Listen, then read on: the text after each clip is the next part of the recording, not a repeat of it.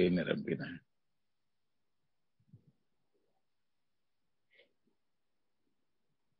நாம் அமர்ந்துள்ள இடத்தை சுற்றிலும் நல்ல தெய்வீக ஆற்றலை நிரம்பின நாம் அமர்ந்துள்ள இடத்தை சுற்றிலும் நல்ல தெய்வீக ஆற்றலே நிரம்பின அருட்பேராற்றல் உடலிலும் உயிரிலும் அலை அலையாக பாய்ந்து நிரம்புவதையும் வழிந்து திரும்புவதையும் உடலின் ஒவ்வொரு அணுவிலும் அலை அதிர்வாக உணர்கின்றோம்.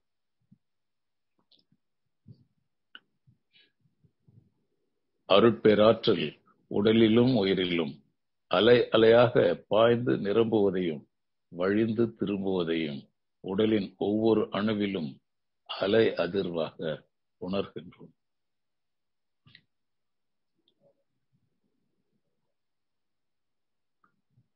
அருட்பேராற்றல் உடலிலும் உயிரிலும் அலை அலையாக பாய்ந்து நிரம்புவதையும் வழிந்து திரும்புவதையும் உடலின் ஒவ்வொரு அணுவிலும் அலை அதிர்வாக உணர்கின்றோம். அருட்பேராற்றல் இரவும் பகலும் எல்லா நேரங்களிலும் எல்லா இடங்களிலும் எல்லா தொழில்களிலும் உறுதுணையாகவும் பாதுகாப்பாகவும் வழிநடத்துவதாகவும் அமையுமாக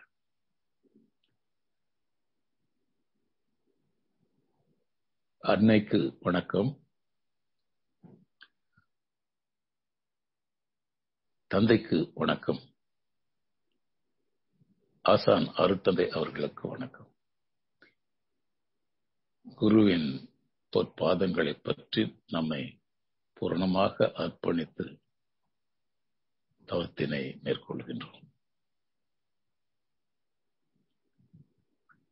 பஞ்சபூத தத்துவங்களில் ஐந்தாவது தத்துவமாகிய மண் என்ற நிலத்தின் மீது முதலில் தவம். நிலத்திற்கு அடையாளமான மண்ணாலான பூமி உருண்டையை நினைத்துக் கொள்கின்றோம்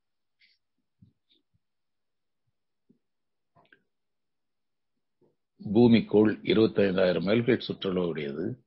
தன்னைத்தானே மணிக்கு சுமார் ஆயிரத்தி நாற்பது மைல்கள் வேகத்தில் சுற்றி கொண்டிருப்பது.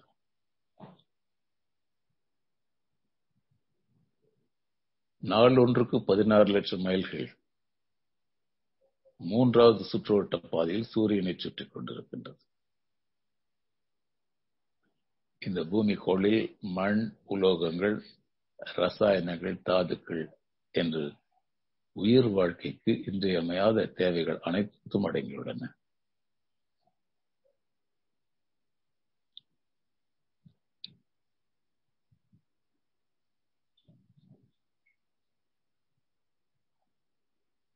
பிரபஞ்ச பரிணாமத்தில் இந்த மண்ணின் உற்பத்தி ரகசியத்தை அறிந்து கொள்ளுகின்றோம். மண்ணாலும் மண்ணிலிருந்தும் எல்லா நேரங்களிலும் எல்லா இடங்களிலும் எல்லா தொழில்களிலும் காப்பு பெறுவோம்.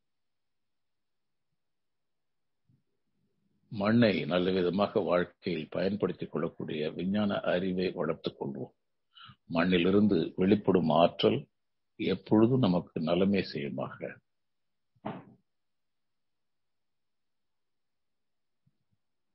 பூமிக்கோளை நினைந்து அதன் இயக்கத்தை நினைந்து அந்த மண்ணால் தான் நாம் செய்யப்பட்டிருக்கிறோம் என்பதையும் உணர்ந்து நம்முடைய வசதி வாய்ப்புகள் நம்முடைய செல்வங்கள் நம்முடைய எல்லா பொருள்களும் நம்முடைய துய்ப்பு எக்ஸ்பீரியன்ஸ் என்ஜாய்மெண்ட் எல்லாமே இந்த மண்ணிலிருந்து எடுக்கப்பட்டவைதான். என்பதை உணர்கின்றோம். ஒரு தாயிடமிருந்து பிறந்து வந்த குழந்தையை போல. குழந்தைக்கு தாய் தான் எல்லாம். அதனுடைய ஒவ்வொரு அணுவையும் தயார் செய்தது தாய் தன்னுடைய வயிற்று. இந்த பூமி கூட நமக்கு அப்படித்தான். அம்மா என்ற வார்த்தையில் இருக்கின்ற அதே உருக்கத்தோடு உணர்வு பூர்வமாக இந்த பூமி என்று நினைந்து உருகி உருகி தவமேற்றுகின்றோம்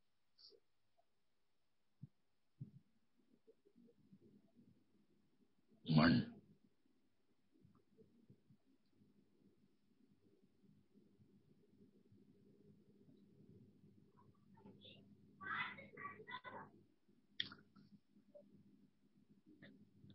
மண்ணுக்கும் நமக்கும் நடக்கின்ற போட்டியில் மண் தான் ஜெயிக்கின்றது. நமக்கு மண் வேண்டும் என்று நினைக்கின்றோம். பூமி வாங்குவதிலேயே குறியாக இருக்கின்றோம். நீயே எனக்கு சொந்தம் என்று சொல்லுகின்றது மண். ஜெயிப்பது மண் தான். மறவாமல் மனதில் இருத்த வேண்டிய உண்மை. அதனால் விளையும் நன்மைகள் ஏராளம் ஏராளம்.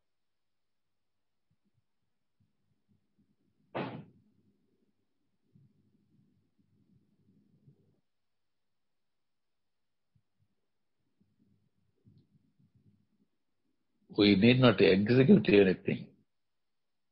Just knowing the truth will perform everything.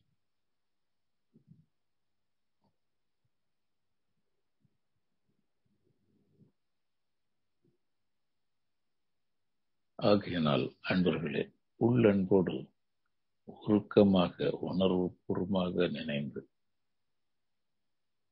ஆழ்ந்த ஓர்மையுடன்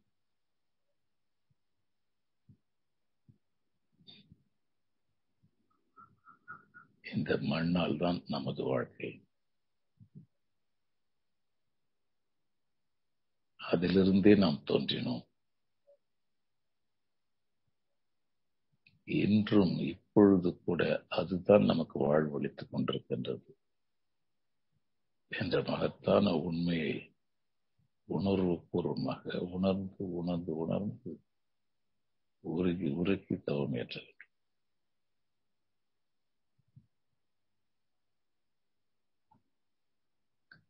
இதுவரை நமக்கு செய்ததைப் போலவே இனி வரும் நாட்களிலும் நமக்கு துணையாக இருக்கக்கூடிய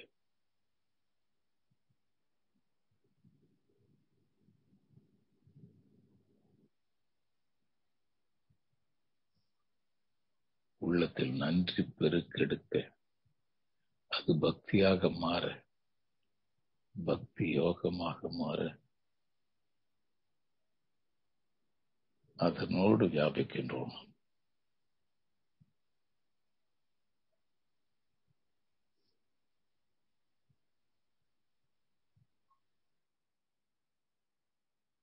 கண்கள் கசிய. நன்றி தெரிவித்து. அதனுடைய பகுதிகளாகிய நீர் நெருப்பு காற்று ஆகாயம் என்ற மற்ற போதங்களுக்காகவும் அதனோடு நன்றி சொல்லிக்கொண்டு அடுத்த மூலகமான நீரின் மீது சிறப்பாக தவமேற்ற முற்படுகின்றோம். நீர் நான்காவது தத்துவம். இந்த பூமிக்கோளில் எழுபத்தி இரண்டு சதவிகிதம் நீர் தன்மையால் நிரப்பப்பட்டிருக்கின்றது. பேரியக்க களம் முழுவதும்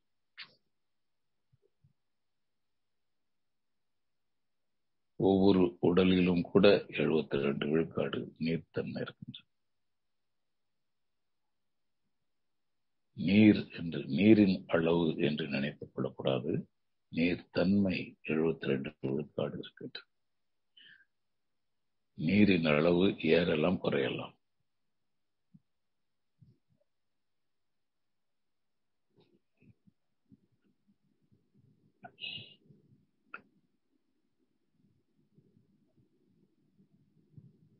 மழைத்துளி விழுந்தால் அல்லது பசும் புல் கூட தலை காட்டல் அறிவு விசும்பின் துளி வீழி நல்லால் பசும்புல் தலை காண்பதறி அப்படி ஒரு தன்மை. எல்லா உயிர்களையும் வாழ வைக்கின்ற அதனுடைய தன்மை. விரிந்த நீர்ப்பரப்பை மனதினில் பாவித்து தவம் ஏற்றுகின்றோம்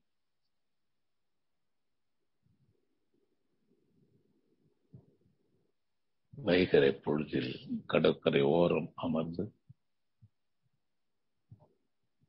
எழுச்சி பெற்று வருகின்ற செவ்வான சூரியனின் கதிர்கள் பட்டு தகதகின்ற கடல் அலைகளின் பரப்பு கண்ணுக்கு எட்டிய தூரம்.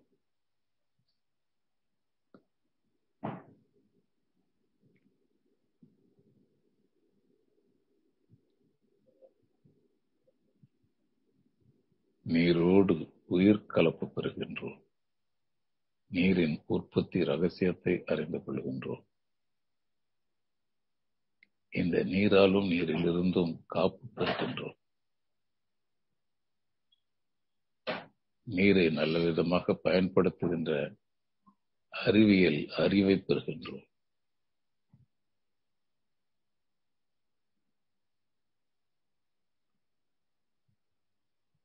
நீர் எப்பொழுது நமக்கு நலமே செய்யுமாக.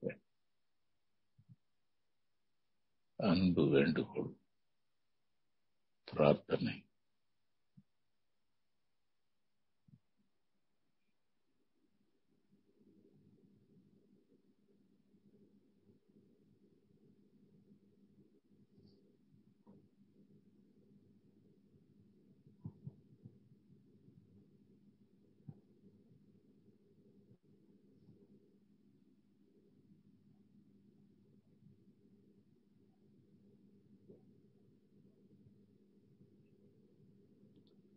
ஆழமாக சிந்திக்கும் போது கண்கள் கசிகின்றன. நம் மனதின் மேற்புறம் அடுத்து கொஞ்சம் ஆழம் இன்னும் கொஞ்சம் ஆழம் இன்னும் கொஞ்சம் ஆழம். மனதின் ஆழத்திற்கு செல்லும் போதெல்லாம் அங்கே ஈரம் இருக்கின்றது அன்பு இருக்கின்றது கருணை இருக்கின்றது.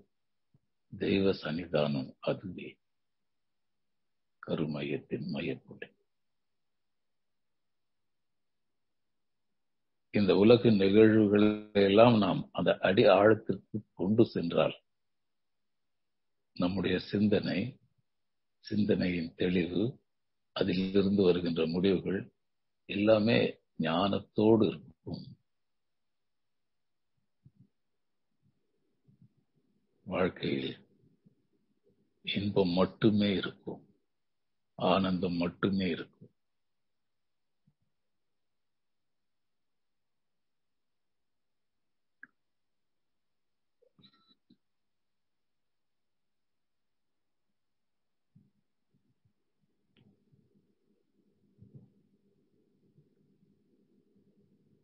அடுத்த உலகம் நெருப்பு.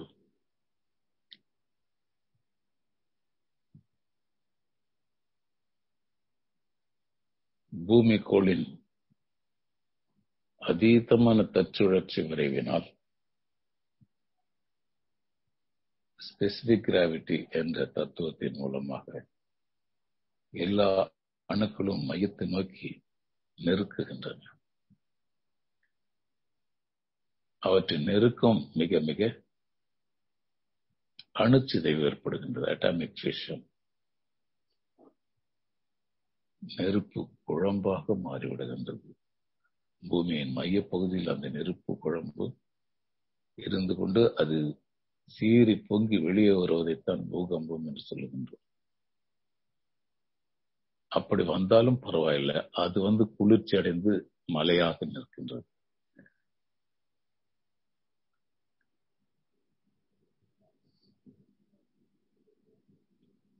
நீரின் ஒரு பகுதி மழையாக பொழிந்து அந்த மலையை கரைத்து கரைத்து மணலாக கொண்டு வந்து சமவெளியை ஏற்படுத்துகிறது.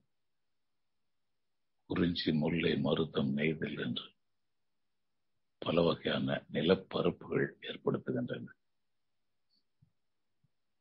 இயற்கை ஏதோ திட்டம் போட்டு இந்த மக்களை வாழ வைக்க வேண்டும் என்பதற்காக சேதத்தை போல் இருக்கின்றது. அந்த வரிசை கிரமத்தில் ஒன்றாக நடந்திருக்கின்றது. கொஞ்சம் நினைத்து பாருங்கள். அன்பு எந்த இடத்திலும் தன்னை தடைப்படுத்திக் கொண்டதே இல்லை. தொடர்ந்து தொடர்ந்து இந்த நன்மை நமக்கு வந்து சேர வேண்டும் என்பதற்காக இயங்கிக் கொண்டிருக்கின்றது. இறைநிலை.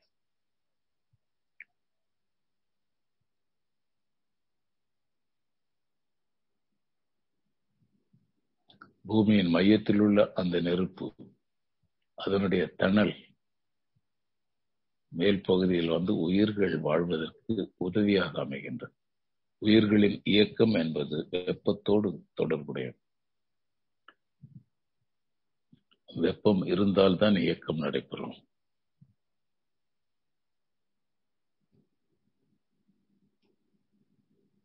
இக்னைட் பண்ணலன்னு சொன்னா எந்த மோட்டரும் ஓடாது.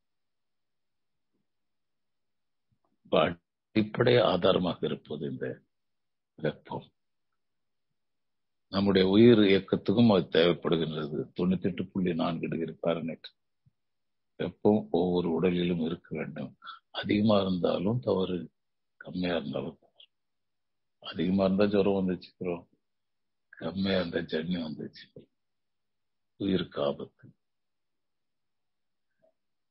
சரி யார் அது இதை சரியான முறையில் சரியான அளவில் நமக்கு தந்து கொண்டிருப்பது. பூமியின் மையத்தில் ஏற்பட்ட நெருப்பு குழம்பிலிருந்து வருகின்ற வெப்பம். எவ்வளவு டிகிரிஸ் இருக்கும்?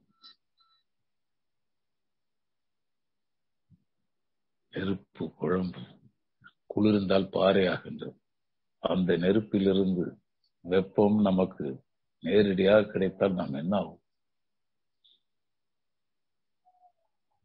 இப்ப அதுவல்ல கேள்வி.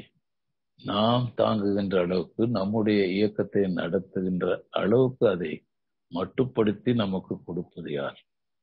கொஞ்சம் ஆழமா நினைச்சு பாருங்க இறைநிலையின் கருணை என்ன என்று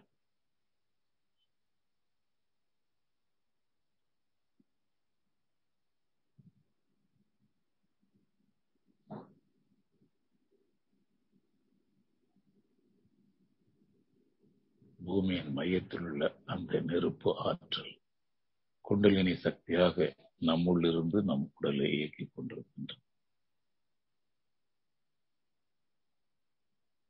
நன்றியோடு நினைத்துக் கொள்கின்றோம்.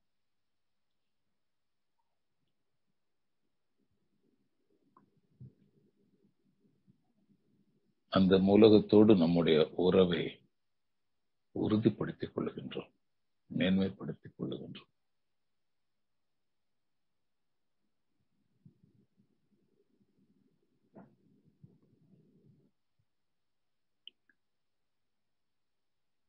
நெருப்பு ஆற்றல் எப்பொழுது நமக்கு நலமே செய்யுமா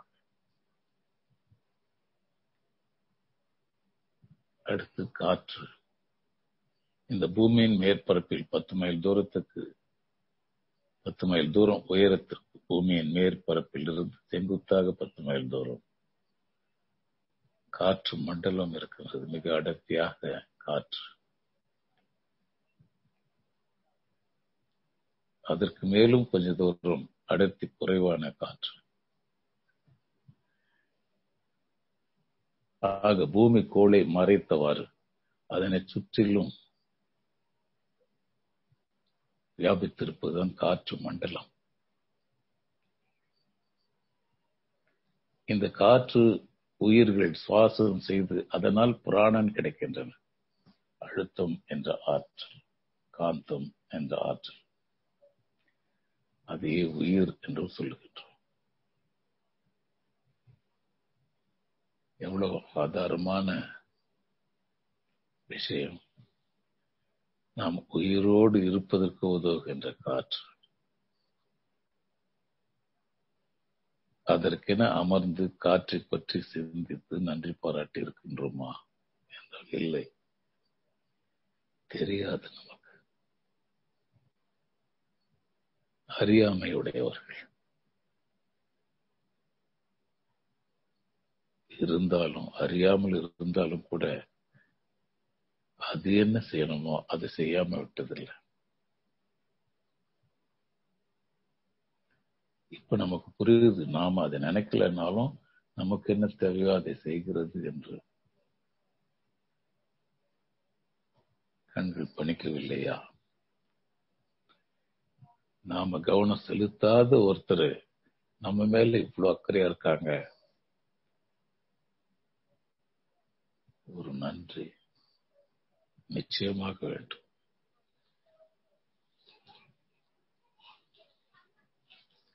ஓய்வில்லை செய் நன்றி கொன்ற மகற்கு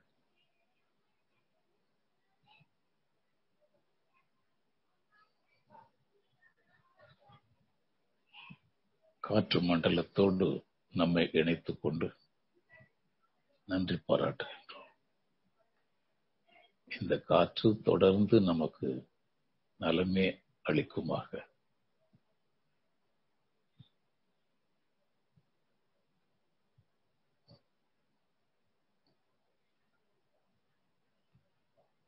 அடுத்து ஆகாய ஆற்றல் ஆகாஷ்.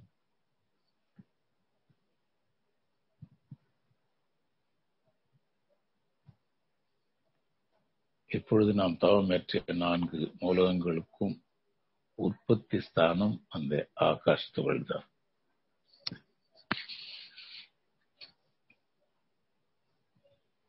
விண் என்று பெயரிட்டுக் கொண்டோம் விண் துகள் இந்த விண் தான் நமக்குள் உயிராக இயங்கிக் கொண்டிருப்பது. எல்லா இயக்கங்களையும் நடத்தி தலைமையேற்று நடத்தி கொண்டிருப்பது.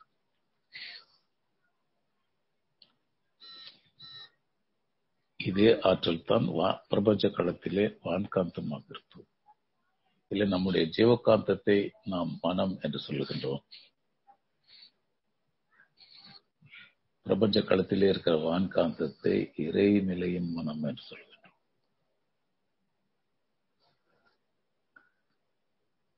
இதை இப்படி கற்பனை செய்து பார்த்தீர்களானால் நம்முடைய மனம் வேண்டுகின்ற ஒன்றை இறைநிலையின் மனத்தோடு சொல்லிவிட்டோமானால் இறைநிலை பேரன்பு கொண்டு பெருங்கருணை கொண்டு அதை நமக்காக செய்து முடிக்கின்றது.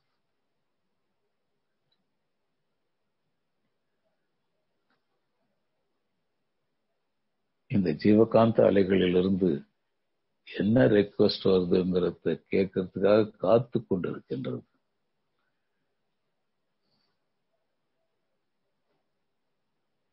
எல்லா இயக்கங்களையும் இதற்காகவே நடத்தி கொண்டிருக்கின்றது உங்கள் சிந்தனையை சரியான பாதையில் செலுத்தினால் போக வேண்டிய இடத்துக்கு போகலாம். உணர்வை பெறலாம்.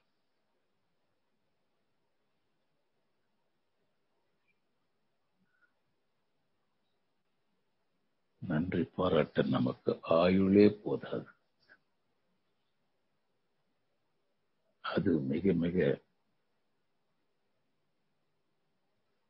குறைவான நேரம். நூறு நூத்தி இருபது வருடங்கள் வாழ்ந்தாலும் அது ஒரு நொடி கூட இல்லை. ஏனென்றால் நமக்கு செய்யப்பட்டிருக்கின்ற உதவிகள் ஏராளம் ஏராளம் கோடிக்கணக்கில்.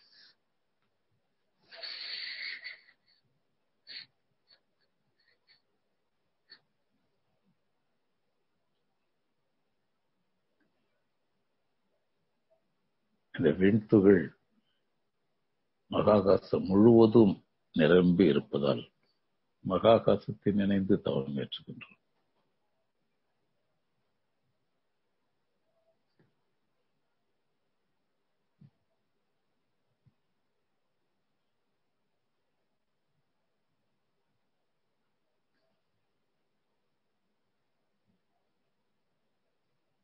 மகாகாசத்தில் சுமார் ஐநூறும் அதற்கு மேற்பட்ட கேலக்சிகள் கேலக்சி என்பது பத்தாயிரம் கோடி சூரிய குடும்பங்கள் ஒரு தொகுப்பாக இருக்கின்றது. மில்கி வே என்று சொல்லுகின்றோம்.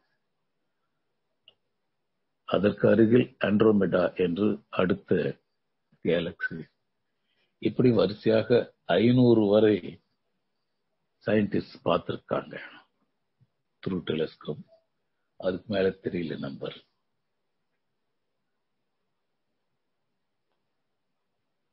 அதைத்தான் சித்தர்கள் எழுதுகிறார்கள் அண்ட சராசரங்கள் என்று. சரம் சரமாக. அண்டங்கள் பல நூறு கோடி வான வெளியில் மிதந்து கொண்டிருக்கின்றன வெட்ட வெளியில்.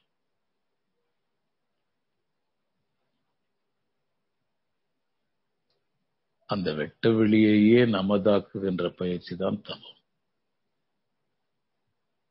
அதனோடு ஒன்று அதுவாக நாமே மாறுவது அத்தனை உயர்ந்த பயிற்சி தவம் மெடிடேஷன்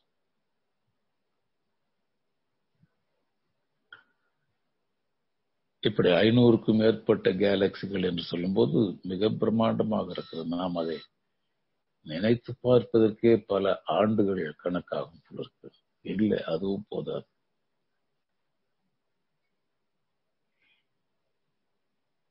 இந்த பிரபஞ்ச வெளி. எல்லையற்ற ஒரு சுத்த வெளி சூழ்ந்திருப்பதால் இவ்வளவு பிரம்மாண்டமான ஒன்று கூட ஒரு புள்ளி அளவுக்கு கூட இல்லை. இன்ஃபினிட் ஸ்பேஸ்ல நாம போக போக இந்த புள்ளி கூட மறைந்து போகும்.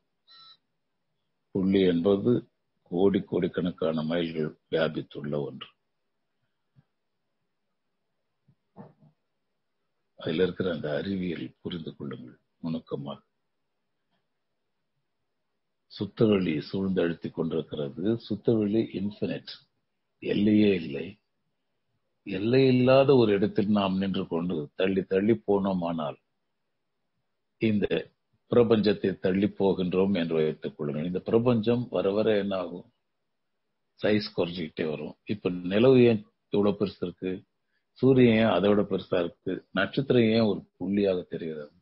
உண்மையில் நட்சத்திரங்கள் எல்லாம் ஒரு சூரியன் என்று சொல்லப்பட்டிருக்கின்றது. அப்ப இந்த சூரியன் இவ்வளவு பெரிய சைஸ் தெரியுது ஒரே ஒரு புள்ளி ஏன் தெரியுது நட்சத்திரம்? It is because of the distance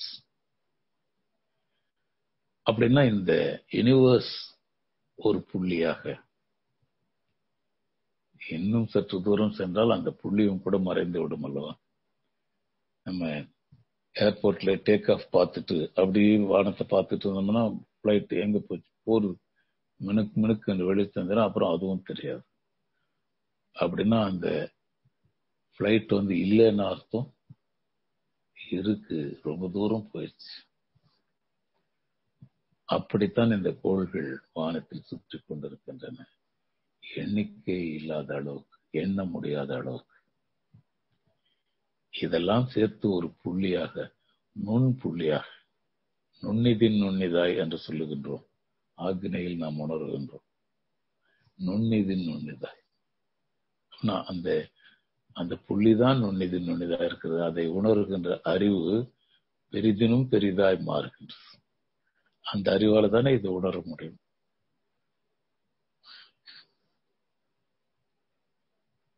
அந்த நிலையில் அன்பானவர்களே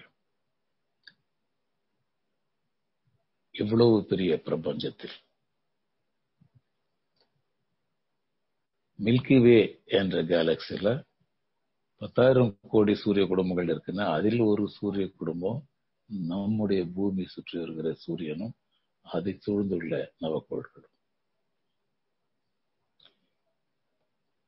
இப்ப நம்ம ரொம்ப சின்ன இடத்துக்கு வந்துட்டோம். நம்ம சூரிய குடும்பம் இந்த சூரிய குடும்பத்துக்கே இருநூறு கோடி மைல்கள் டயாமீட்டர் உள்ள ஒரு பெரிய வட்டம் வேணும். இதை கொஞ்சம் விவரமா பார்க்கலாம். நம்முடைய பூமி சுற்றி வரும் சூரியனை தவத்திற்காக நினைத்துக் கொள்கிறோம். ஏன்னா அதான் சென்டர் சூரியனை மையமாக கொண்டு மற்ற கோள்கள் எல்லாம் சுற்றி வருகின்றன. எப்படி சுற்றுகின்றன? ஜஸ்ட் ஒரு மூவ் பண்ணணும் அப்படி சொன்னா ஒரு டூ வீலர் எடுத்து மூவ் பண்ணணும்னா கூட பெட்ரோல் போடணும்.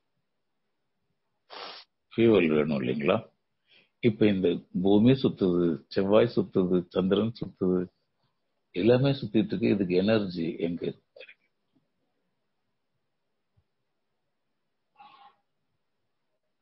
எனர்ஜி எங்க இருந்து கிடைக்குதுன்னா சூரியன் சுத்துது. சூரியனுடைய காந்த களத்துல இந்த கோள்கள் இருக்கின்றன. அப்ப சூரியனுடைய சுழற்சியில இது இருக்கிறதுனால அப்படி நடந்துட்டு போகுது. இப்ப ரோட்ல போற வண்டியில நாம எப்படியாவது ஏறிட்டோம்னா நாம போயிடலாம் இல்லைங்களா? நாம ஆசையில.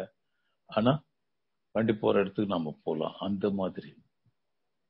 இந்த சூரியனுடைய காந்தக்களும் எவ்வளவு வேகத்துல சுத்தோ அவ்வளவு வேகத்துல இந்த கோள்கள் எல்லாமும் சுத்திட்டு இருக்காதுல்ல இது சுத்தல. அதுல இது உட்கார்ந்துருக்கு. அதுதான் இழுத்துட்டு போகுது. அப்படின்னா ஏன் ஒரே வரிசையா இல்ல?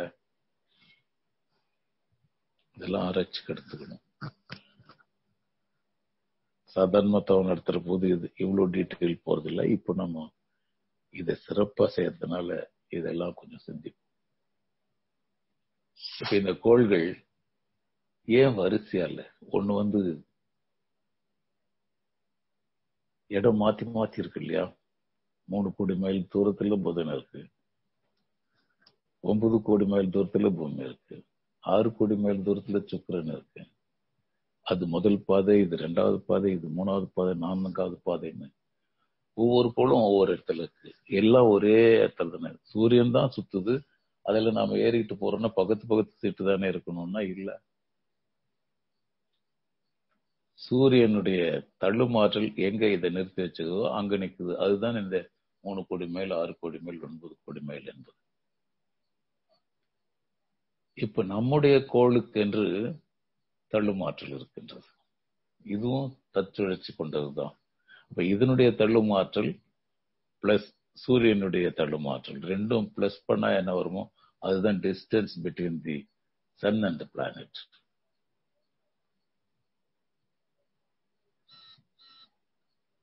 அப்படி கணக்கு பார்க்குற போது அந்த பருமன் அதனுடைய வேகம் velocity plus weight of the planet வெவ்வேறு மாறுது பாருங்க.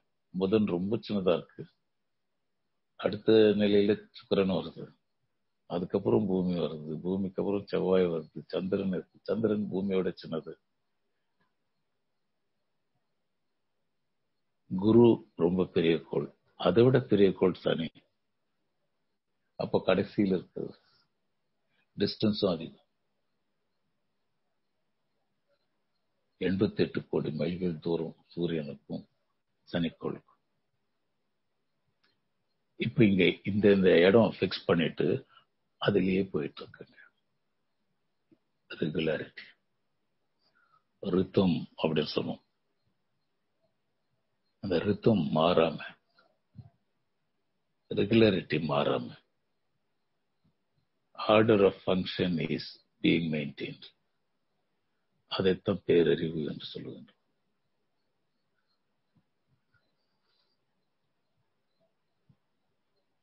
அதனால் அன்பர்களே நம்முடைய கோள்கள் அனைத்தும் சூரியனுடைய ஆற்றலில் சுற்றி கொண்டிருக்கின்றன. சூரியனின் ஆற்றல் கோய கோளே சுத்தலன்னு சொன்னா இப்ப நம்முடைய சுழற்சிலாம் என்ன ஆகுறது? நம்முடைய சுழற்சி காரணம் we get energy from our own planet படிப்படியா வாங்கி வாங்கி கொடுத்துக்கிட்டே வருது. அப்ப இந்த படைப்பில் உள்ள அத்தனை பொருட்களும் ஒன்றோடு ஒன்று இணைக்கப்பட்டிருக்கிறது. கொத்து இயக்கமே என்று சொல்லுவார் மாதிரி.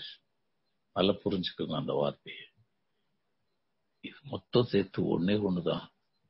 அதனால்தான் நம்ம சொல்றோம் ஒரே உயிர் ஒரே ஆன்மாதான் உடம்பு தான் நிறைய இருக்கு. அது உடம்பு ஒரு பொருட்டே இல்லை. களிமண் எடுத்து பொம்மை செய்யறது அது அழிச்சிருது மறுபடியும் தண்ணியில ஒரு பொட்டு புது புது களிமண் ஆக்கிறது. அப்படி நடந்து கொண்டிருக்கிறது. இதுக்கு உட்காந்து எழுதிட்டு இருக்கோம் நம்ம. இந்த ஆழ்ந்த அறிவு கற்றறிவு இருந்தா அவ்வளோ துக்கம் வராது. அதுக்காக நாம் துன்பப்பட மாட்டோம். நாளடைவில் இந்த உண்மையை மனதில் பதிவாக பதிவாக நம்முடைய துயரமெல்லாம் துயரமெல்லாம் சந்தோஷமாக மாறும். துக்கம் எல்லாம் சந்தோஷமாக மாறும். அதைத்தான் பைபிள் வாசகம் சர்ச் வா சர்ச் சுவர்ல எல்லாம் எழுதி வச்சிருக்காங்க. உங்கள் துக்கம் எல்லாம் சந்தோஷமாக மாறும். எப்படி மாறும்? இவங்க ஏமாத்துறாங்க அப்படின்ற மாதிரி தோணும் முதல்ல.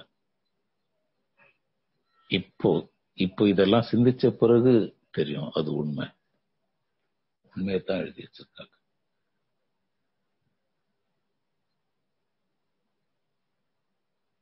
அதனால் நண்பர்களே சூரியனை பற்றி இன்னும் கொஞ்சம் விளக்கமாக பார்க்கலாம். சூரியன் ஆரஞ்சு நிற காந்தாலி கதிர்களை கொண்டது. அது நம்முடைய எலும்பு மண்டலத்தோடு நெருங்கிய தொடர்புடையது. அந்த ரேஸ் ஃப்ரம் சன் எதை நோக்கி வரும் அப்படின்னா நம்ம எலும்பு மண்டலத்தை நோக்கி வரும். எலும்பு மண்டலம் இல்லைன்னு நாம இந்த ஷேப் இருப்போமா? வடிவம்.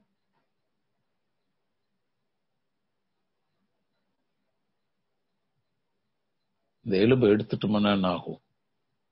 ஒரு சதை பெண்ணு இருக்கும். எல்லா கோள்களும் இருக்கிற மாதிரி எல்லா கிரகங்களும் இருக்கிற மாதிரி உருளை உருளையா இருக்கும். மனித உருளைகள் அப்போ எலும்பு நமக்குள்ள வச்சு ஒரு ஃப்ரேம் பண்ணி ஒரு அழகான உருவத்தை கொடுத்திருப்பது சூரியனுடைய ஆற்றல். ஆரஞ்சு நிற காந்தலை கதிர்கள். அது இப்போ விரும்பி கேட்டு நாம் நம்மோடு இணைத்துக் கொள்கிறோம். நாம் அதனோடு இணைந்து கொள்கின்றோம். அதனோடு உயிர் கலப்பு பெறுகின்றோம். அதனால் ஏற்படும் வாழ்க்கையில் நமக்கு கிடைக்கின்ற நன்மைகளை எல்லாம் ஓங்கச் செய்து மேலும் நன்றியோடு இருக்கின்றோம். கல்வி மேன்மை அறிவு மேன்மை வாழ்க்கை வளங்கள் எல்லாம் கிடைக்கும். Just we have to be in contact with it அதைத்தான் இப்போது செய்து கொண்டிருக்கிறோம். சூரியனின் ஆற்றலை ஏற்று நம்மோடு ஒன்றுபடுத்திக் கொள்கின்றோம். உயிர் கலப்பு பெறுகின்றோம். சூரியனின் ஆற்றல் எப்பொழுது நமக்கு நலமே செய்யுமாக. இதுல நம்மோட கான்டாக்ட் பண்றதுக்கான கான்டாக்ட் பாயிண்ட் போன் எலும்பு மண்டலம். அதை நினைச்சு செய்யணும் நம்ம. சூரியனுக்கும் நமக்கும் உள்ள உறவு கான்டாக்ட் எங்க பண்ணுதுன்னா எலும்பு கூட்டுக்கு வருது. இது எலும்பு கூட்டுக்கு வந்ததுக்கு அப்புறம் எலும்புல இருந்து எல்லா இடத்துக்கும் பரவி அந்த ஆற்றல் நமக்கு துணையாக இருக்கின்றது. அடுத்து சூரியனுக்கு அப்பால் மூன்று கோடி மைல்கள் தொலைவில். முதல் சுற்றுவட்ட பாதையில் பச்சை நிறமான காந்த இலக்கியங்களை வீசிக்கொண்டு எண்பத்தி எட்டு மாதங்களுக்கு ஒரு முறை முதல் சுற்று. புதன் இருக்கிறதுலே ரொம்ப சின்ன கோள் அதுதான். ஒரு டூ த்ரீ இயர்ஸ்க்கு முன்ன புதன் பார்க்க முடியும்னு சொல்லி நியூஸ் எல்லாம் போட்டிருந்தாங்க. பார்த்தாங்க நிறைய மொட்டை மாடியில். ரொம்ப சின்ன வட்டமா இருக்கும்.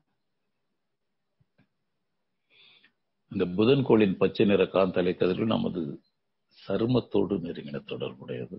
அப்படின்னா இது ஸ்கின் டிசீஸ் எது இருந்தாலும் புதனை நோக்கி தவம் பண்ணா நிச்சயமா அது பலன் அளிக்கும். புதன் புதன் கோளினுடைய ஆற்றல் வணிக மேன்மை புத்தி கூர்மை இதெல்லாமும் தரும். கூட வாழ்க்கை வளங்கள் எல்லாம் தரும். எல்லா கோள்களும் நம்முடைய வாழ்க்கை வளங்களை மேம்படுத்துவதற்காகத்தான் சுற்றி கொண்டிருக்கின்றன. நல்ல ஞாபகம் வச்சுங்க. அது சுத்துறது நமக்காக தான் இந்த வானமும் பூமியும் நமக்காக படைக்கப்பட்டிருக்கின்றன. நமக்காக இயங்கிக் கொண்டிருக்கின்றன. அப்படியே அது கூட போனோம்னா அதுக்கப்புறம் தான் கடைசியில போறப்போது புரியும். அந்த இயக்கங்களாக இருப்பதும் நாம் தான் அந்த கோள்களாக இருப்பதும் நாம் தான் என்று. அது கொஞ்ச நாளா ஆயிட்டு போறோம். அதுக்கப்புறம் கிராஜுவலா புரியுன்றதெல்லாம் இல்ல. நாம அந்த ஆழம் அந்த கலப்பு அவ்வளவு வேகமா பண்ணல. அதனால நிக்குது நாளாகுது. கிராஜுவலா அப்படின்னு சொல்றோம். எல்லாம் சேர்த்து நொடியில் செய்து முடிக்கக்கூடிய தருணங்களும் உண்டு.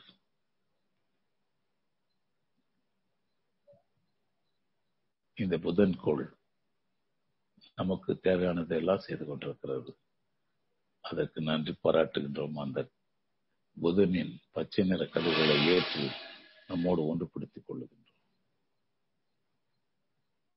புதனின் ஆற்றல் எப்பொழுதும் நமக்கு நலமே செய்யுமாக? அடுத்த கோள் சுக்கரன். அது புதன் கோள்ல இருந்து இன்னும் மூணு கோடி மைல்கள் அப்பால் இருக்கு. அப்ப சூரியனுக்கு இரண்டாவது சுற்றுவட்ட பாதை. சுக்கிரன் என்ற கோள் தான் விடியற் காலம் வெள்ளி வெள்ளின்னு சொல்லிட்டு இருக்காங்க பெரும்பாலும் லேடிஸ்க்கெல்லாம் தெரியும் வெள்ளி வெள்ளி முளைச்சிச்சு அப்படின்னு சொல்லுவாங்க. அதெல்லாம் கிராமத்துல தான் இங்க எங்க வெள்ளியும் முளைக்கல தங்கம் முளைக்கல. அந்த வெள்ளி முளைத்தது என்று சொல்வார்கள் விடியற் காலம்.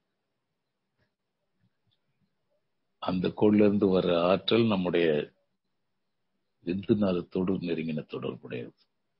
இந்த உலக வாழ்க்கை மகிழ்ச்சி நிறைந்தது நட்பு நிறைந்தது அன்பு நிறைந்தது என்பதை விளங்க வைப்பதே இந்த உறவுகள் தான். அதை மேம்படுத்துவது இந்த சுக்கிரன். பொருளாலும் புகழாலும் எண்ணத்தாலும் செயலாலும். இந்த சுக்கிரனின் ஆற்றலை நினைந்து வியந்து அதனோடு நம்மை ஒன்றுபடுத்திக் கொள்கின்றோம். நம்முடைய விந்துநாதத்தின் மேன்மைக்கு அது மிகவும் துணை புரிகிறது. விந்துநாதம் என்பது மிக அதுதான் நம்முடைய வாழ்க்கையை. வித்தினுடைய அளவும் அதனுடைய அழுத்தமும் தான் நம்முடைய வாழ்க்கையின் தரம் நம்முடைய புத்திசாலித்தனம் நம்முடைய ஞானம் எல்லாமே அதை பொறுத்துதான் இருக்கு. பாலுணர்வும் ஆன்மீகமும் என்ற தலைப்பில் நீங்க படிச்சிருப்பீங்க. அப்ப இந்த சுக்கரன் மீது நாம் மிக ஆழமாக ஓர்மையோடு தவம் ஏற்றுகின்றோம். புதன் ஐ மீன் சுக்கரன் என்ற கோள் அதனுடைய காந்த ஆற்றல் வெள்ளி நிறமானது. சில்வர் என்று சொல்லுகிறோம்னா வெள்ளைன்னு சொல்லலை நான். வெள்ளைன்னு சொல்றது வேற வெள்ளியிலிருந்து வர லைட் வேற. கிளிட்டரிங் ஒயிட் அந்த சுக்கிரனின் காந்தாலை கதிர்களை ஏற்று நம்மோடு ஒன்றுபடுத்திக் கொள்கின்றோம் உயிர் கலப்பு பெறுகின்றோம். சுக்கிரன் மீது தவமேற்றி சுக்கிரனின் ஆற்றல் எப்பொழுது நமக்கு நலமே செய்யுமாக என்று பிரார்த்தனை செய்து அடுத்த கோளுக்கு செல்கின்றோம். அடுத்தது ஒன்பது கோடி மைல்கள் தொலைவில் சூரியனிலிருந்து ஒன்பது கோடி மைல்கள் தொலைவில் மூன்றாவது சுற்றுவட்ட பாதையில் நம்முடைய பூமி சூரியனை சுற்றி கொண்டிருக்கின்றது.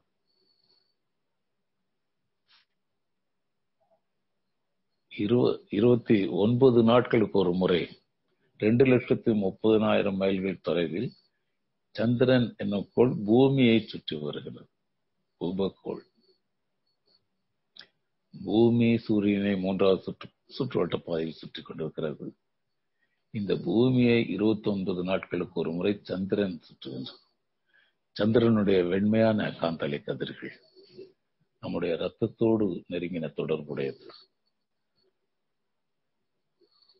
ரத்தம் மிக முக்கியமான திரவம். எல்லா வேலையும் ரத்தத்தை வச்சுதான் நடக்கணும். அப்ப ரத்த ஓட்டத்தில் ஒரு சீர்மை வேண்டும் என்றால் சந்திரனுடைய தயவு நமக்கு வேண்டும். சந்திரனை பிரார்த்திக்கின்றோம். சந்திரனின் வெண்ணிற ஆற்றல் நம்மோடு கொண்டுள்ள ஊடாடல் ரத்தத்துக்கும் அதுக்கும் உள்ள ஊடாடல் நினைந்து தவமேற்றுகின்றோம். இதுல ஒரு முக்கியமான விஷயம் பௌர்ணமி நிலவை நினைந்து செய்ய நிலவு தேய்பிரை வளர்பிறை என்று இருக்கின்றது. அதுல முழுமையா எப்ப இருக்கு? அந்த நிலவை நினைப்பு செய்யணும். நீங்க என்னைக்கு வேணாலும் பண்ணலாம். ஆனா பௌர்ணமி நிலவை நினைந்து தவமேற்ற வேண்டும். சந்திரனின் ஆற்றல் எப்பொழுதும் நமக்கு நலமே செய்யுமாக. சந்திரன் மீது மனம் செலுத்தி தவமேற்றுகின்றோம் ஊடாடலை மறவாமல். இப்ப இந்த சந்திரனுக்கு அப்பால இன்னும் ஒரு ஐந்து கோடி மைல்கள் தொலைவில்.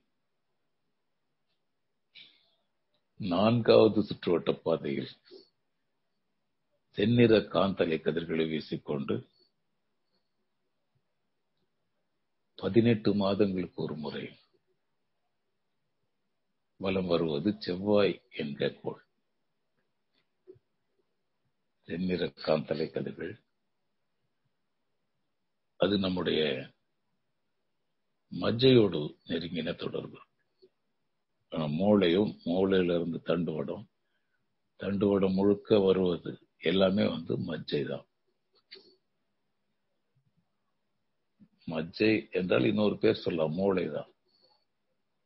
மூளையினுடைய நீட்சி எக்ஸ்டென்ஷன்ஸ் எங்கெங்க இருக்கோ அங்கெல்லாம் இந்த செவ்வாய்க்கோளின் செந்நிற காந்தலை கதிர்கள் அதனோடு ஊடாடி அதனுடைய இயக்கத்தை நடத்துவது.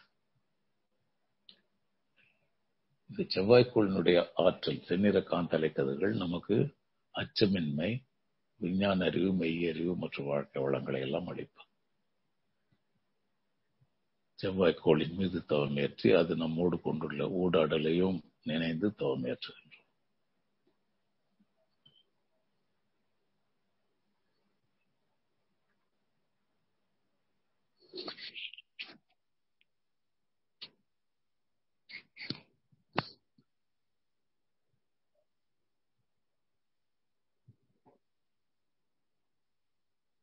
பிறகு சூரியனுக்கு அப்பால் நாற்பத்தி எட்டு கோடி மைல்கள் தொலைவில். ஐந்தாவது சுற்றுவட்ட பாதையில் குரு என்ற கோள். ஐந்தாவது சுற்றுவட்ட பாதையில் வலம் வருகிறது. எவ்வளவு நாளைக்கு ஒரு முறை பன்னிரண்டு ஆண்டுகளுக்கு ஒரு முறை பன்னிரண்டு ஆண்டுகளுக்கு ஒரு முறை ஐந்தாவது சுற்றுவட்ட பாதையில் வலம் வருகின்ற குரு எனும் ஆற்றல் மிக்க கோள். அதனுடைய பொன்னிறமான காந்தலை கதிர்கள் நமது மூளையை இயக்குவதாக அமைந்துள்ளது. என்றால் மிக முக்கியமான இடம். நம்முடைய உடலின் இயக்கம் முழுவதையும் கட்டுப்படுத்துகின்ற மூளையை குரு என்ற கோள் தான் கட்டுப்படுத்திக் கொண்டிருக்கின்றது இயக்கிக் கொண்டிருக்கிறது என்பதை ஆழ்ந்து நாம் உணர வேண்டும்.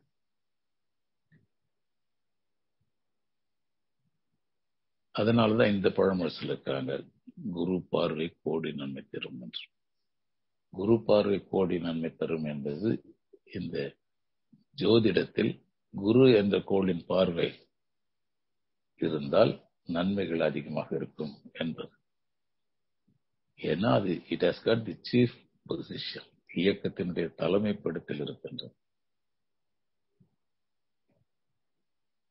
அதனால நாம் இந்த தவம் இயற்றி குரு என்ற கோளின் நன் மதிப்பையும் கருணையும் பெற வேண்டியது அத்தியாவசியமாகின்றது. குரு என்ற கோள். ஆழ்ந்து தவம் ஏற்றுகின்றோம் அதனுடைய காந்தாலை கதைகள் நம்மோடு கொண்டுள்ள ஊடாடலை நினைந்து தவம் ஏற்றுகின்றோம் உடல் நலம் மெய் விளக்கம் மற்றும் வாழ்க்கை வளங்களை எல்லாம் அளித்து எப்பொழுதும் குரு என்ற கோள் நமக்கு எல்லா வளங்களையும் அளிக்குமாக நலமே செய்யுமாக.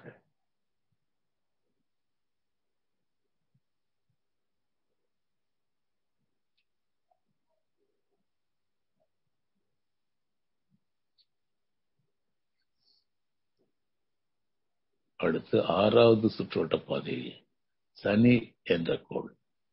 மிக பிரம்மாண்டமானது. இருக்கிற கோள்கள்லயே சைஸ் அதிகமா இருக்கிறது சனிக்கோள் தான். அது மட்டும் இல்ல அதுக்கு உபக்கோள் அதை சுற்றி வருகின்ற கோள்கள் வேற இருக்கு. இந்த சனிக்கோளுக்கு பிறகு நெப்டியூன் புளூட்டோன் அதெல்லாம் வேற இருக்கு. அதெல்லாம் நம்ம கணக்கு எடுத்துக்கல. ஏன்னா அதெல்லாம் இதுல தரப்படவில்லை. கணக்கு தெரியல இன்னும். சயின்ஸ்ல இன்னும் கண்டுபிடிக்க வேண்டியது நிறைய பாக்கியா இருக்கு. அதுல இப்ப நமக்கு தெரிஞ்சது சனிக்கோள் வரைக்கும் இந்த சனிக்கோளின் ஆற்றல் சாம்பல் நிறமான காந்தாலே.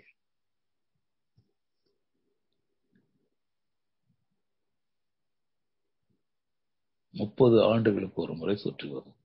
ஆறாவது சுற்றுவட்ட பாதையில் சூரியனை முப்பது ஆண்டுகளுக்கு ஒரு சுற்று. அப்படின்னா அந்த ஆர்பிட் அவ்வளவு பெருசாயிடுச்சு. புதன் எண்பத்தி எட்டு நாள்லயே சுத்த முடியுது. கனிக்கோள் சுத்தி வர்றதுக்கு முப்பது வருஷம் ஆகுது. அதனால வல்லமையும் கூடுதலாகின்றது. ஏன்னால் முப்பது ஆண்டுகள் சுற்றி வரும்போது இந்த மனிதனுக்கு முப்பது ஆண்டுகளில் என்னென்ன மாற்றங்களை ஏற்படுத்த வேண்டுமோ அவற்றையெல்லாம் செய்து விடுகின்றது. அந்த மாற்றங்களை ஏற்படுத்தும் போது நம்மை தண்டிப்பதாக நாம் நினைக்கிறோம். இல்லை நம்முடைய தரத்தை உயர்த்துவதற்காக செய்யப்படுகின்றவை. தனிக்குள் யாரும் எப்போ கெடுத்ததே இல்லை. கெடுத்து விட்டதாக நாம் நினைத்துக் கொள்கிறோம். ஆனால் கெடுப்பதல்ல. நன்மையை தருவதற்காக. கொட்டி கொடுப்பதற்காகத்தான் முதல்ல ஒண்ணும் இல்லாம பண்றது. அதுதான் சனிக்கோளினுடைய இயக்கம். சனிக்கோளின் அந்த ஆற்றலை ஏற்று நம்மோடு ஒன்றுபடுத்திக் கொள்ளுகின்றோம். உயிர் கலப்பு பெறுகின்றோம். சனிக்கோளின் ஆற்றல் எப்பொழுது நமக்கு நலமே செய்யுமா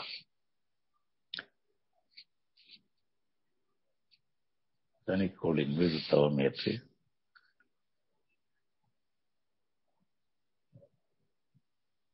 அதனோடு நம்மை இணைத்துக் கொள்ளட்டும்.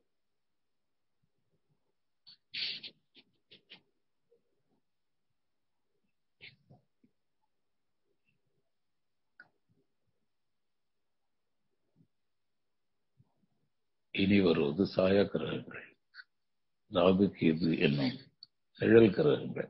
அவை கோள வடிவில் இருக்கின்ற கிரகம் அல்ல ஒரு காந்தாலை பாதை. அது எவ்வாறு தோன்றுகின்றது என்றால் இந்த பிரபஞ்சம் முழுக்க இயக்கத்தில் இருக்கக்கூடிய அணுக்கள் எல்லாம் இயக்க ஆற்றல் குறைந்து சுத்தி சுத்தி ஓடி ஓடி களைத்து போய் ஆற்றல் குறைவான போது உங்களுக்கு ஒரு பிசிக்ஸ் உண்மை தெரியும். சுழற்சியில் இருப்பதை விட சுழற்சி குறைய குறைய இயக்க வேகம் குறைய குறைய கனம் அதிகமாகும் வெயிட் அதனால்தான் இங்க இயக்க வேகம் குறைந்த கனத்த அணுக்கள் எல்லாம் சூரியனின் மையப்புள்ளியை நோக்கி ஓடுகின்றன. அங்கதான் போகணும். சூரியனின் மையப்புள்ளிக்கு போனதும் கொஞ்ச நஞ்சம் அந்த ரெமினன்ஸ் ஆஃப் தி வேவ்ஸ் இருக்கும் ஆற்றல். அந்த ஆற்றல அப்படியே ஒரு பாதையா மெல்லிய கோடு போன்ற கருப்பு நிற காந்தாலை பாதைகளாக நீட்டிக்கொண்டே போறது சூரியனின் மையப்புள்ளியில இருந்து மேல் நோக்கி ஒரு கோடு கீழ் நோக்கி ஒரு கோடு. எங்க போய் நிற்குவது அப்படின்னு சொன்னா பிரபஞ்சத்தின் விளிம்பு வரை இது இருக்கிறது ஒரு கோள்ல சூரியன்ல. ஆனா சூரியனை சூரியனை கீழ்ச்சிட்டு போயிடும் அந்த பக்கம். அப்பவே அதுகிட்ட ரொம்ப minimum very meagre energy will be there அது அப்படியே கொஞ்சம் கொஞ்சமா போயிட்டு இந்த கேலக்சி எல்லாம் தாண்டி பிரபஞ்சத்தின் விளிம்பு வரை பிறப்பது விளிம்புக்கு அப்புறம் என்ன இருக்கு? வெட்ட வெளி இருக்கு.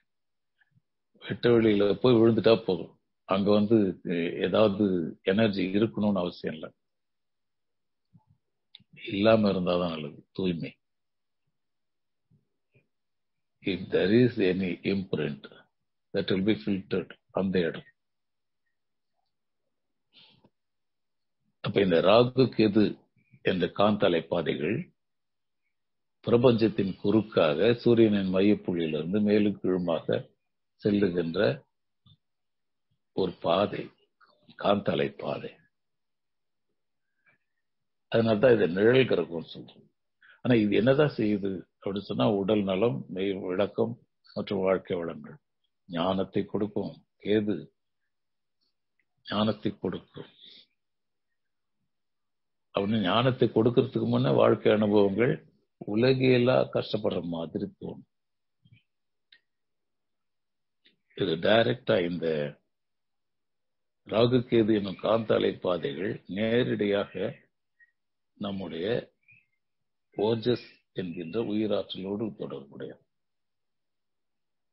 அப்ப அட் எனி டைம் இந்த பக்குவ நிலை வாழ்ந்தது நேரம் அங்கு இழுத்துரும். அதனுடைய பாதையில கொண்டு போய் சுத்த வழியோட சேர்த்துரும். அதனால உயிருக்கு ஜீவனுக்கு முக்தி அளிக்கக்கூடிய வல்லமை இதுக்கு உண்டு. அது போக இங்கே உடல் நலம் மெய் விளக்கம் மற்றும் வாழ்க்கை வளங்களை எல்லாம் அளிக்கும். இப்ப நம்ம நம்ம ஓஜஸ் அதனோட கனெக்ட் பண்ணிக்கணும்.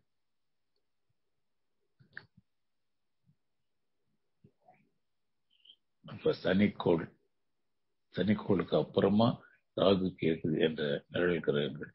இப்ப இந்த நிழல் கிரகங்கள் என்று சொல்லுகிறோமே இது மீண்டும் பிரபஞ்சத்தின் குறுக்காக இருக்கின்றன.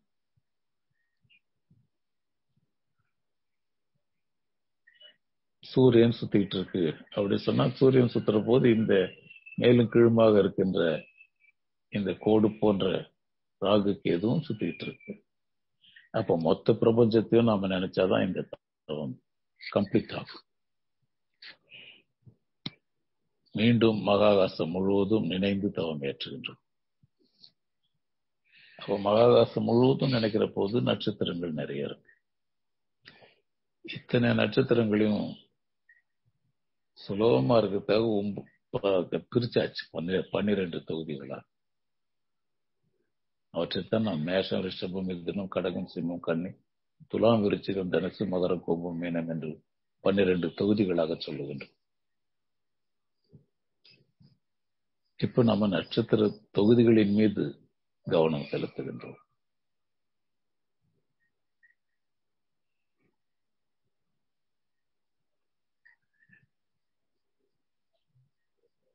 ஆழ்ந்த ஓர்மையோடு நட்சத்திரங்களை கவனிக்கின்றோம்.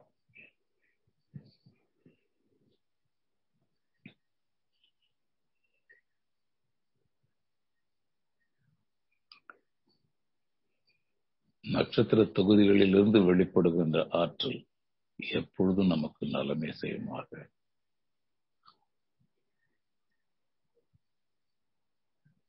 நட்சத்திரங்களை எல்லாம் தாண்டி அப்பாலுக்கு அப்பால் செல்கின்றோம்.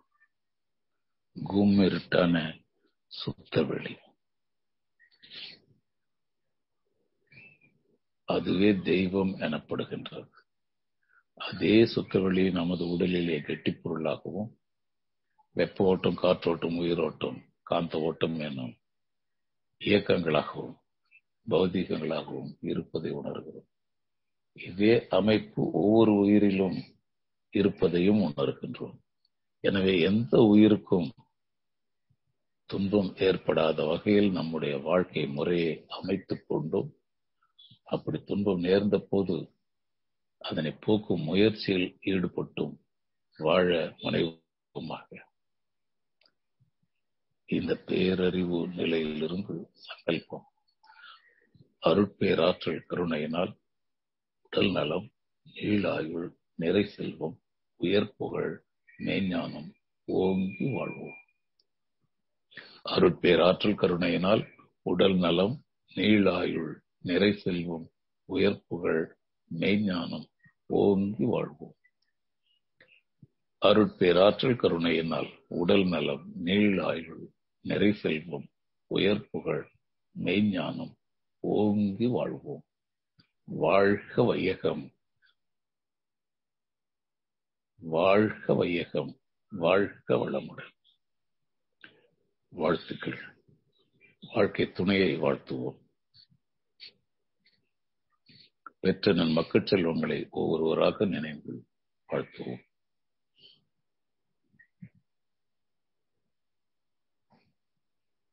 உடன் பிறந்தாரை வாழ்த்துவோம்.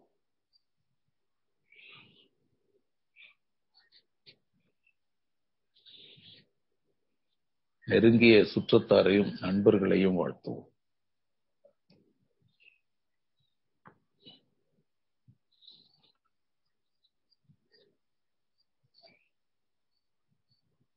தெரிந்தோ தெரியாமலோ இன்னல் புரிவோர் எதிரிகளாக நினைப்போர் இருப்பினும் அவர்களும் மனம் திருந்தி நல்வாழ்வு பெற கருணையோடு வாழ்த்துவோம்.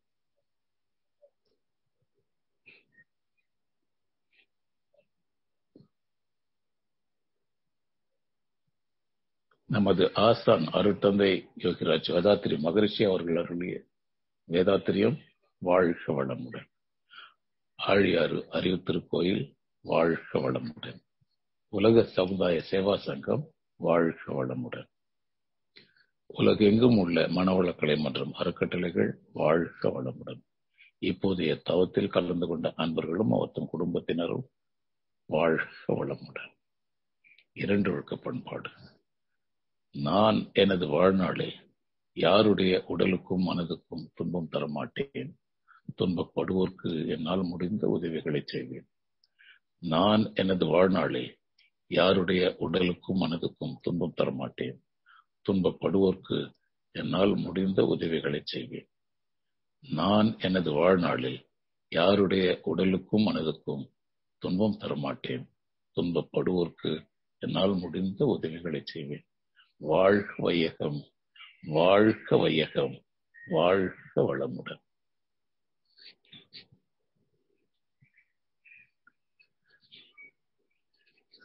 உலக நலவேட்பு உலகில் உள்ள பொறுப்புடைய தலைவர் எல்லாம் உயிரறிவை உள்ளுணர்வாய் பெறுதல் வேண்டும். உலக அனைத்து நாடுகளின் எல்லை காக்க ஓர் உலக கூட்டாட்சி வலுவாய் வேண்டும். உலகில் போர் பகை அச்சமின்றி மக்கள் உழைத்துண்டு ஒளங்காத்து வாழ வேண்டும். உலகெங்கும் மனித குலம் அமைதி என்னும் ஒரு வற்றாத நன்னிதி பெற்று உய்ய வேண்டும். வாழ்க வையகம். வாழ்க வையகம் வாழ்க வளமுடன். மழை வேட்பு ஏரி குளம் கிணறு ஆறு எல்லாம் நிரம்பி வழிய மாறி அளவாய் பொழிக மக்கள் வளமாய் வாழ்க.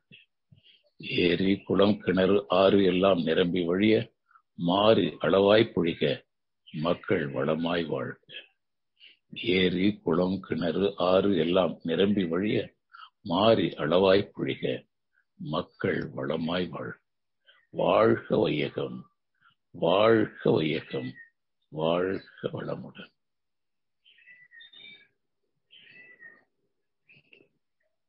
நான் நலமாக இருக்கின்றேன். என் குடும்பத்தினர் நலமாக இருக்கின்றனர். என் வீதியில் உள்ளோர் நலமாக இருக்கின்றனர். என் ஊரில் உள்ளோர் நலமாக இருக்கின்றனர். என் மாகாணத்தில் உள்ளோர் நலமாக இருக்கின்றனர். என் நாட்டில் உள்ளோர் நலமாக இருக்கின்றனர். இந்த பூமிக்கோளில் வாழ்கின்ற அனைவரும் நலமாக இருக்கின்றனர். இந்த பூமிக்கோள் அனைத்து உயிர்களும் அமைதியும் ஆனந்தமுமாக வாழ்வதற்கு ஏற்ற வகையில் மாறிக்கொண்டே இருக்கின்றன. மாறிக்கொண்டே இருக்கின்றனர் மாறிக்கொண்டே வாழ்க வையகம் வாழ்க வையகம் வாழ்க வளமுடன் நம் மனதில் அமைதி நிலவட்டும். நம்மை சுற்றிலும் அமைதி நிலவட்டும். உலகம் முழுவதும் அமைதி நிலவட்டும். அமைதி அமைதி அமைதி.